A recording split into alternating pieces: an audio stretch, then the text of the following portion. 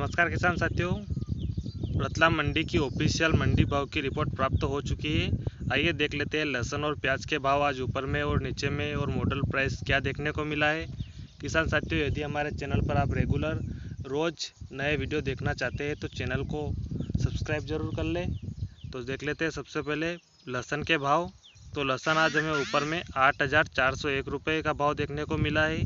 वहीं मॉडल भाव चार हज़ार पाँच सौ रुपये वहीं न्यूनतम भाव ग्यारह सौ रुपये प्रति क्विंटल का रहा है।